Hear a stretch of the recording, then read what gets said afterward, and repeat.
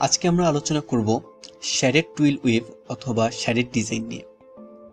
তো প্রধানত এই ডিজাইনটা টুইল বেসড এই ডিজাইন করার উদ্দেশ্য হচ্ছে ফেব্রিকে একটি স্ট্রাইপ অথবা ক্রস ওভার অথবা যে কোনো ফিগার ডিজাইন আনা। তো প্রধানত একে দুই ভাগে ভাগ করা যায়, একটা হচ্ছে সিঙ্গেল শ্যাডেড টুইল ওয়েভ আরেকটা হচ্ছে ডাবল শ্যাডেড টুইল তো প্রথমে যদি সিঙ্গেল শ্যাডেড টুইল ওয়েভটা দেখি, এখানে ফর্মুলা নাম্বারটা থাকবে সবসময় ডিক্রিজিং অর্ডারে অর্থাৎ সেটা ওয়ার্ক ফর্মুলা নাম্বার হোক ওয়েব ফর্মুলা নাম্বার হোক ওয়ার্ক ওয়েব ফ্লোটগুলো থাকবে ডিক্রিজিং অর্ডারে যেমন four up one down three up two down two up three down এরকম একটা। তো একটু খেয়াল করলে দেখতে পাবো ফর্মুলা নাম্বারে যেগুলো আপ ফ্লোটগুলো রয়েছে, সেগুলোর আছে ডিক্রিজিং অর্ডারে যেমন four three two one six five four three two one আবার ডাউন অবস্থায় যেগুলো আছে, সেগুলো আছে ইনক্রিজিং অর্ডারে one two three four one two three four five six তো সাধারণত এই ধরনের অর্ডারেই ফর্মুলা নাম্বারগুলো থাকে সিঙ্গেল শেডেড টুইন ওয়েভের ক্ষেত্রে।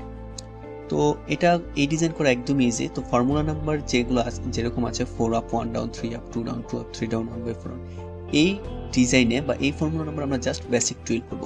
বেসিক টুইল করলেই হয়ে যাবে সিঙ্গেল শেডেড টুইল ওয়েভ তো আমি যেহেতু এটা অনেক সময় সাপেক্ষ, আমি একটা, দুইটা থ্রেড করে দেখাচ্ছি। কীরকম যে ফোর আপ ফার্স্ট হচ্ছে ফোর আপ ওয়ান ডাউন তারপর হচ্ছে থ্রি আপ তারপর হচ্ছে থ্রি আপ টু ডাউন তারপর হচ্ছে টু আপ তারপর হচ্ছে থ্রি ডাউন তারপর হচ্ছে ওয়ান আপ ফোর ডাউন এই একটা হয়ে গেল। তো এরকম এরকম পরেরগুলা যে একটা করে আমরা উপরে উঠিয়ে দিব, তাহলেই হয়ে যাবে। তাহলে হয়ে যাবে একটা করে উপরে উঠিয়ে দিব, তাহলেই হয়ে যাবে। এখানে একটা বেশি পড়েছিল এটা আমি এরকম করে আপনি পুরো টোয়েন্টি রিপিট ইউনিট আনবেন। টোয়েন্টি রিপিট ইউনিট আসলে এগুলোর যোগফলের সমান। টোয়েন্টি রিপিট ইউনিট আনলে যেরকম হবে।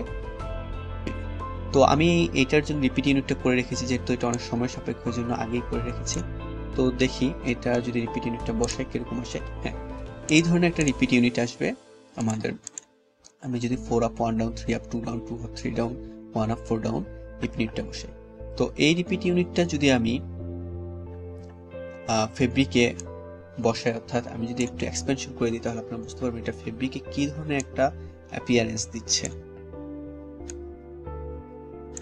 ফেব্রিকে এই ধরনের একটা অ্যাপিয়ারেন্স দিবে, সেটা হচ্ছে সিঙ্গেল শেডেড টুইল ডিজাইনগুলো আচ্ছা এখন যদি আমরা ডাবল শেডেড টুইল উইভে যাই, তাহলে দেখতে পাবো এখানে ফর্মুলা নাম্বারের সিস্টেমটা হচ্ছে ফর্মুলা নাম্বারটা প্রথমে থাকবে ইনক্রিজিং অর্ডারে ওয়ার্কওয়েভ ফ্লোটগুলো প্রথমে থাকবে ইনক্রিজিং অর্ডারে পরে আবার ডিক্রিজিং অর্ডারে যাবে।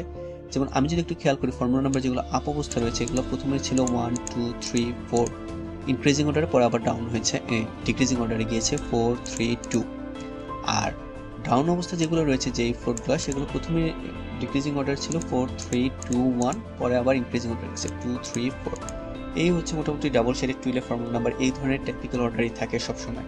তো আমি ছোট একটা ছোট করে নিছি one up three down two up two down three up one down এই ফর্মুলা নাম্বারের জন্য আমি একটা রিপিট ইউনিট করে রেখেছি আগে তো এটা করা খুবই সময় সাপেক্ষ।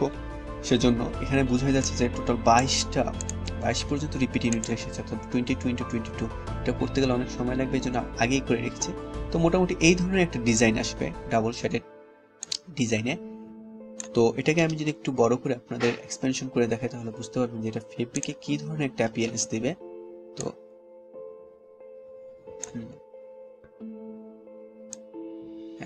মোটামুটি এই ধরনের একটা অ্যাপিয়ারেন্স এটা ফেব্রিকে দেবে। তো এটাই ছিল মোটামুটি শাড়ির ডিজাইন নিয়ে। ধন্যবাদ।